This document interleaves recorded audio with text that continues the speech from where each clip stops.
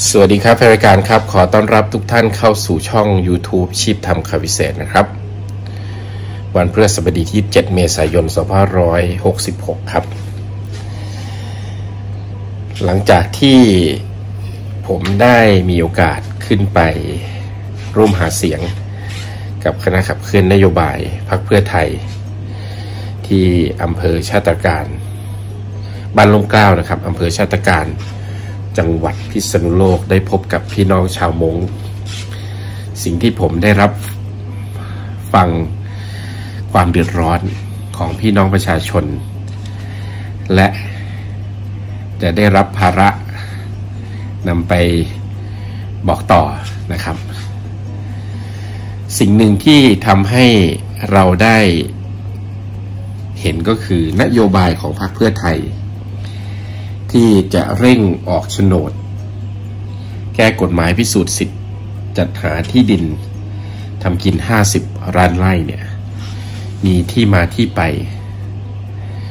อันเกิดจากสิ่งที่คุณอาสุธรรม แสงประทุมประธานกับเคลื่อนนโยบายพรรคเพื่อไทย ได้เคยเล่าให้ผมฟังบอกว่า ท่านนายกทักษิณวันแรกที่นำบริษัทเข้า IPO หรือซื้อขายในเอาบริษัทเข้า ซื้อขายในตลาดหลักทรัพย์นะครับ เห็นโฉนดที่ดินของตัวเอง รู้สึกเป็นวันที่มีความสุขมาก ผมได้สัมผัสกับพี่น้องประชาชน ซึ่งต้องการที่ดินอย่างมาก และผมได้ทำคลิปนี้ขึ้นมา โดยนำเสียงที่ผมได้บันทึกไว้ ถึงความยากลำบากที่ไม่มีที่ทำกินและพืชผลการเกษตรที่ตกต่ำ ในช่วงเวลาที่เกิดขึ้นหลังรัฐประหาร ของพลเอกประยุทธ์จันโอชานะครับ ฟังแล้วก็รู้สึกเศร้า แต่นโยบายของพรรคเพื่อไทยในการเลือกตั้ง 2566 ครั้งนี้ มีที่มาที่ไปจากแรงบันดาลใจ ส่วนหนึ่งนะครับ ส่วนหนึ่ง มาจากท่านนายกทักษิณชินวัตรและการทำสำรวจความต้องการของพี่น้องประชาชน ของทีมงานเศรษฐกิจพรรคเพื่อไทย ลองไปติดตามชมกันครับ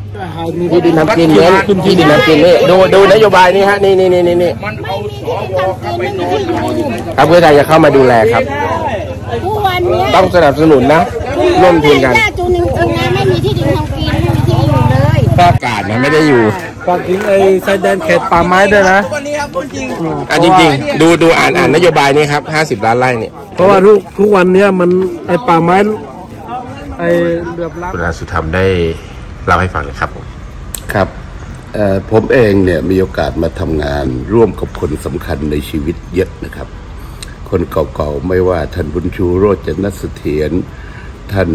นรงค์วงศ์วัน ท่านอุทัยพิมพ์ใจชน แต่คนหนึ่งซึ่งผมคิดว่า ผมได้ใกล้ชิดเขาแล้วผมรู้สึกว่าเขามีอะไรดี ๆ ในชีวิตเยอะ โดยเฉพาะประสบการณ์ชีวิตที่เขาถอดออกมาช่วยเหลือคนอื่น คนคนนั้นคือท่านนายกทักษิณชินวัตรครับ วันนี้ที่ผมมาเห็นนโยบายที่จะออกโฉนดที่ดิน เพื่อให้คนไทยทุกคน มีสิทธิ์ที่จะมีที่ดินเป็นของตัวเอง ในฐานะเจ้าของชาติ ผมจำได้ว่าท่านนายกสินตอน ผมเข้ามาเป็นเลขาธิการเลขานุการรัฐมนตรีต่างประเทศ แล้วท่านก็ตัดสินใจเข้ามาทำการเมืองหลังจากประสบความสำเร็จในชีวิต ท่านได้เล่าให้ผมฟังว่าท่านเห็นโฉนดที่ดินและบ้านของตัวเอง เป็นชื่อตัวเอง ครั้งแรก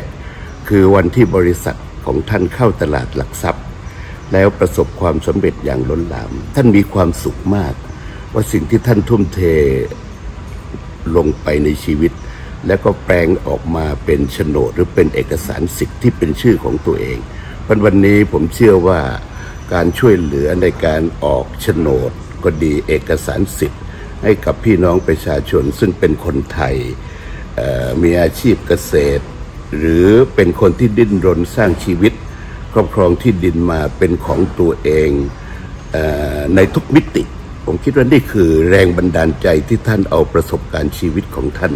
ที่เห็นโฉนดเป็นชื่อของตัวเอง มาช่วยเหลือพี่น้องคนยากคนจน ผมคิดนโยบายนี้ดนใจผมมาก และผมอยากให้พี่น้องประชาชนได้รับรู้ถึงความรู้สึกและความตั้งใจจริงของพรรคเพื่อไทย ที่จะทำให้พี่น้องทุกคนมีความสุข และก็ใช้ ที่ดินเป็นต้นทุนชีวิต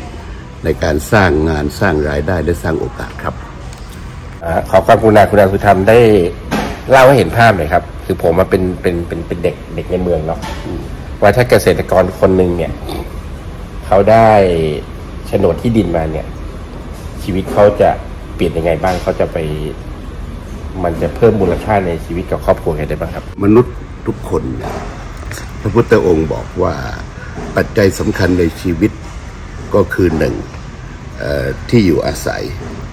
เครื่องนุ่งห่ม อาหารและก็ยารักษาโรคมันปัจจัยเบื้องต้นก็คือที่อยู่อาศัย ที่เกิดที่คุ้มครองดูแลตัวเอง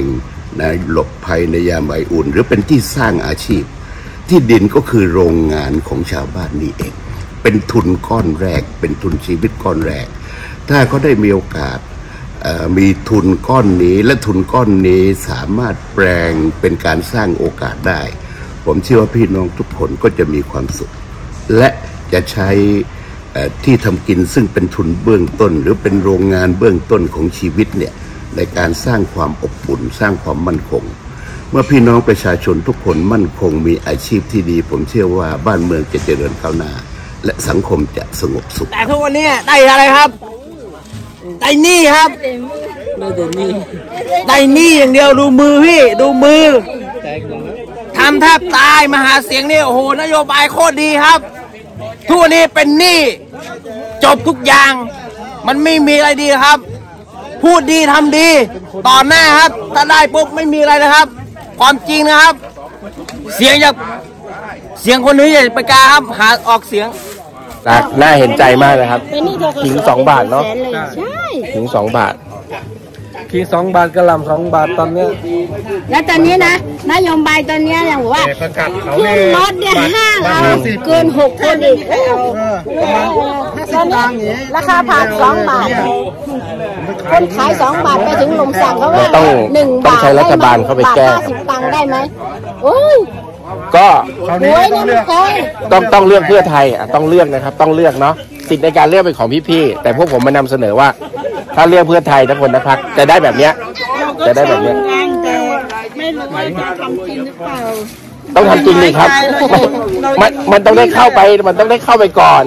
ใช่ยังไม่น้ได้อยใจพักนี่สามปีใช่ไหมอืมถ้าเศรษฐกิจมันไม่ดี เขาก็จะเติมถ้าให้นี่สามไงปีมันก็ไม่อ่านี่ไม่นี่อยู่นี่เหมือนอะเดิดูมนี่ดูนี่เนี่ย